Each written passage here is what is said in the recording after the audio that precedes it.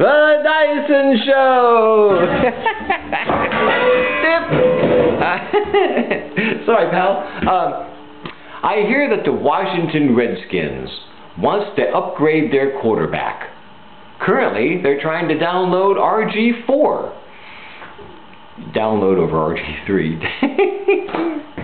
uh, they asked me where I lost my virginity. I said if I knew that, I wouldn't have lost it.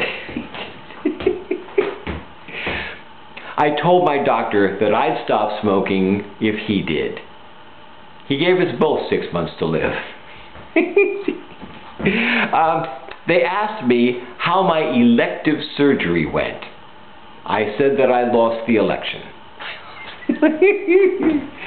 you know, I've always wanted one of these things, but I, I never knew where to get it, and finally I did. I got a whistling teapot. You know the damn thing only whistles when the water boils? I mean, I expected da da da da da da da da da or something, you know, just when the water.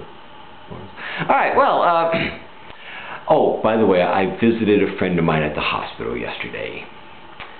I said to him, what did you have done? He said, triple bypass, triple bypass, triple bypass. I said, how are you now? He said, fine, fine, fine. I said, um, triple bypass, huh? He said, triple bypass, triple bypass, triple bypass.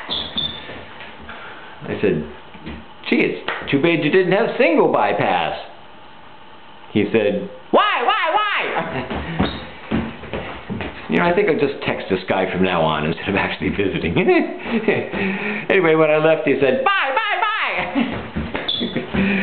I said, take it slow, advice from Joe, Joe,